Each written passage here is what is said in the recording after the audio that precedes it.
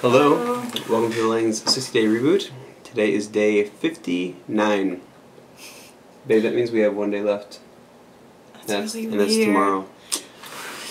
I'm kind of nervous because I still have a lot to. I still have a lot I want to lose. So, but Yeah. I'm really glad of where too. we've How many, how many more do you have to lose? Uh, twenty or thirty. So Yeah. I, I'm about halfway. And I've got about 30 to lose, so I'm about two thirds of the way. Awesome. So, I'm freezing. That's why I'm wearing my coat. I just.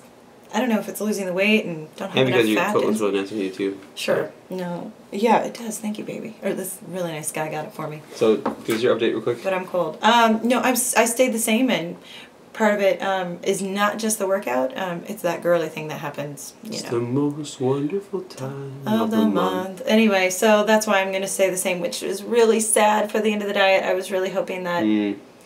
That wouldn't happen, that I could weigh in without that happening. But you?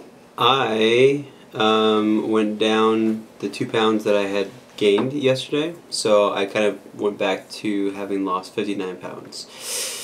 So we'll see if I You'll can cross 60. over tomorrow, and then we'll weigh ourselves one time on Sunday, and that's kind of the culmination of the day 60. Um, so we'll see where we're at. Can I wait till Monday to weigh me? Anyway, we'll talk about that later. Anyway, um, so yeah, wha- so tip. basically, it was interesting as you're thinking about giving you tips and ourselves tips on how to live healthy, healthy after a 60 day juice diet.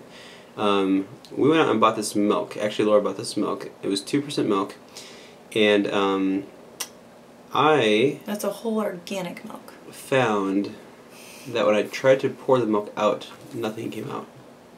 But it was a full gallon of milk. And she had just bought it like a week ago. So I knew that it was not like, you know, rotten, those kind of things. And I looked down inside the, the, the gallon and there was like this white layer and I had no idea. Anyway, um, apparently it's cream. Apparently those of you who are like me who've never actually been on a farm or anywhere near raw milk have never seen cream on top of milk before. And it was an interesting experience. My my uh, middle son called it marshmallows. And uh, but tell us about kind of what that, that means for people. Yeah. So we're actually making a switch. We're heading towards the Weston Price um, type of eating and dieting. So check it out. They have a website. Um, but what we actually had was not raw milk. It's an organic milk. We kind of did small steps towards it. So it still is pasteurized. Um, but we are starting on raw milk this next week. And part of why we're doing that is um, I've always heard my entire life that I'm lactose intolerant.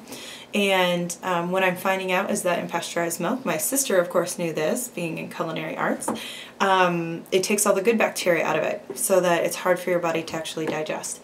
So I've heard that a lot of people go on the raw milk and have no problem with dairy. Um, so we're going to give that a whirl and see what happens. I'm sure we'll update afterwards to let you know how And I, and. I think too, you know, I mean, this is something that will keep you healthy as you go in the long term. So, I think that diets or things that we've just been doing for the last sixty days are really important to kind of get you down to the weight you want to be. And once you're there, eating the well balanced diets will really help you to kind of maintain a healthy body. And uh, if you can And do it, mine. if you do it in moderation, Yeah.